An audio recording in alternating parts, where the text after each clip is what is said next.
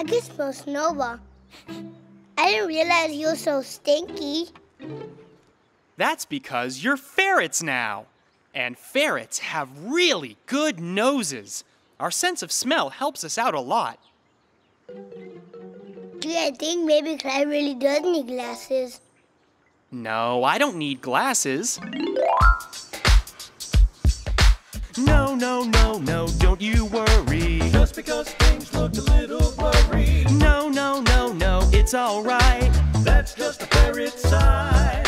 No, no, no, no, don't get all nervous. Just cause things look different to us, And that's why ferrets can hear so well. and that is why we have our great Sense of smell. Now we may not be able to see so very far, or all the colors that there are. Scott doo doo doo ba